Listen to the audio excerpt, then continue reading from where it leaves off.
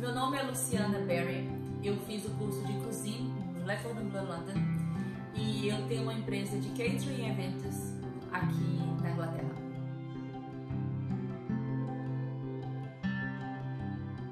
Eu me preparei para a competição tendo, sempre tendo que ficar calma, pensando direito no que, que eu ia mostrar.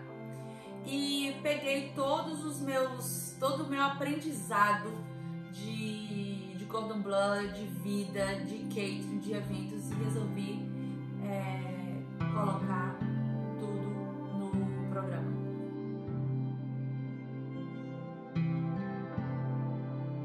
O que me inspirou nos pratos que eu preparei foi o Brasil. Eu sou apaixonada pela nossa biodiversidade, pelos nossos legumes, pelas nossas frutas, pelos nossos produtos. E isso me inspirou muito a poder é, colocar legumes, verduras, frutas do nosso cotidiano e mostrar ao brasileiro que a gente tem que dar valor ao que é nosso. Então o que me inspirou foi realmente foi o Brasil.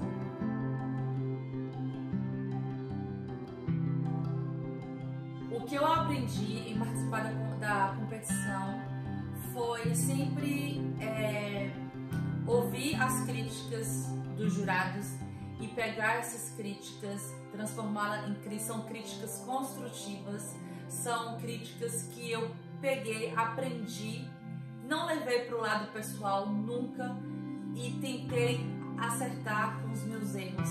Nunca fiquei remoendo, nunca fiquei pensando por que eu, por que eu fiz. Eu sempre peguei o erro, aprendi com o erro e fui melhor a cada dia que fui aprendendo com os erros.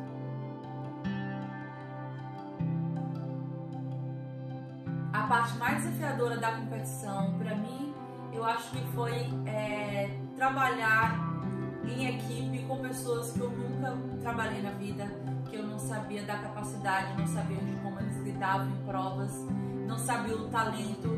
Então, é, a parte mais desafiadora foi trabalhar com pessoas que eu nunca tinha trabalhado antes.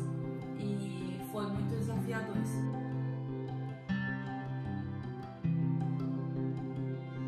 A dica que eu daria para as pessoas que querem participar de competições culinárias é não desista, não desista. Erre e tente acertar no outro dia. Não desista nunca, não abaixe a cabeça. Sempre acredite no seu potencial, acredite em você.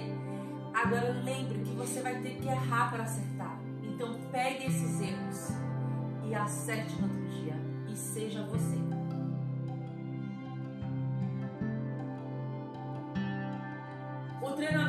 Cordon Bleu me ajudou muito na competição, muito porque foram as técnicas todas que eu aprendi no Cordon Bleu, eu coloquei tudo dentro de um pacote com a minha assinatura e levei para o, o Top Chef Brasil. É, o Cordon Bleu me deu muita força, me, me, deu muita segurança, me deu muita garra e, e, e, e nisso, a partir disso, eu realmente senti que eu poderia colocar tudo que eu aprendi nos meus menus e nos pratos que eu servi, que eu apresentei no Top Chef.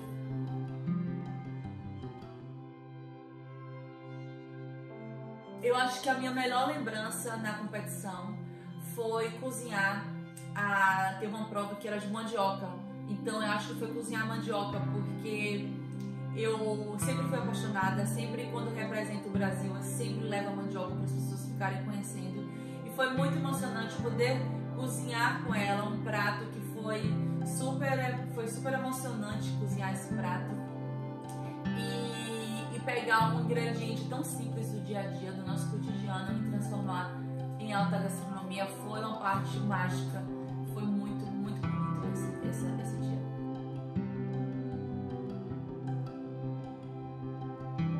A vencer o Top Chef Brasil é, mudou a minha vida está mudando porque eu acho de a oportunidade de poder mostrar o meu trabalho. E outras e várias empresas e várias pessoas que querem explorar o Brasil, que querem vender seus produtos, suas marcas aqui fora, elas poderem ver em mim uma pessoa que possa ajudar por eu morar aqui fora, por já conhecer o mercado. E vai me ajudar muito, está me ajudando muito a poder promover mais a, as nossas, a nossa riqueza, todo o nosso Brasil aqui fora.